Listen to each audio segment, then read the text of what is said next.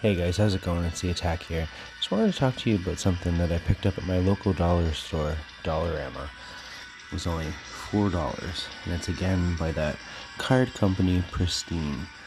And this is the Gaming Cards Surprise Bag. And it says it has card protectors, may contain original sealed packs, which very rarely happens and theme packs. Now, as you can see through the window, there's a Pokemon card. We don't really know what to expect. I've already torn it open, and we're gonna give it a look because it says it's Ultra Pack, two cards plus one rare card, Color Monsters. I'm a little confused by that. Two cards plus one holo card.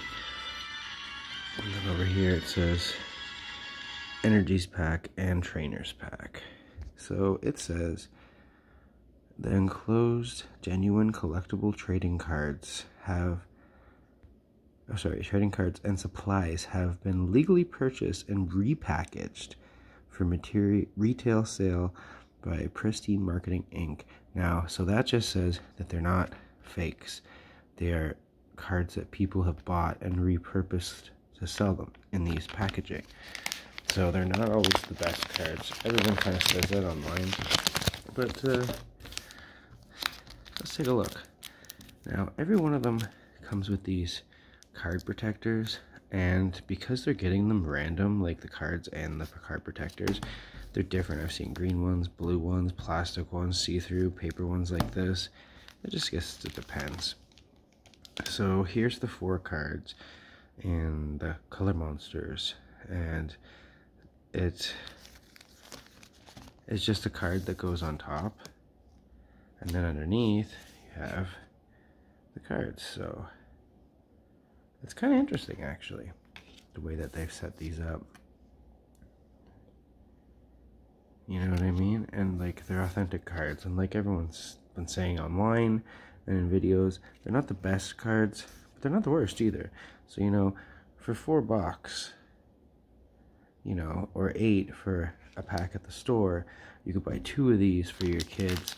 And, you know, if they're just starting, it's perfect. Here's the trainer's pack. And it comes with four cards.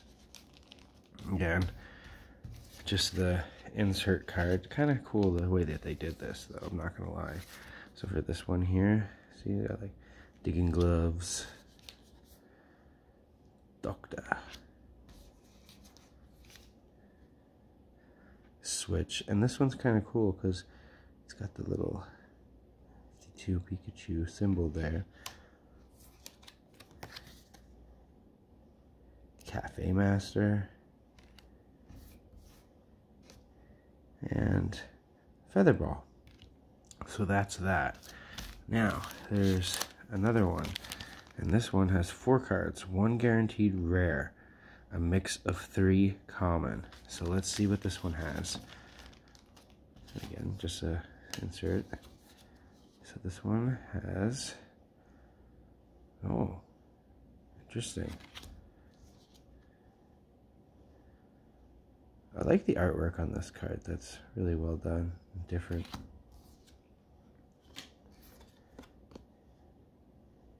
Execute this one. Now, what I find weird is in this particular pack, I didn't get a holographic, but the other one I bought the other day, I did. But, I mean, for four bucks, you can't really complain. It's a good deal. And, yeah, so I just want to know, anyone ever seen these ones?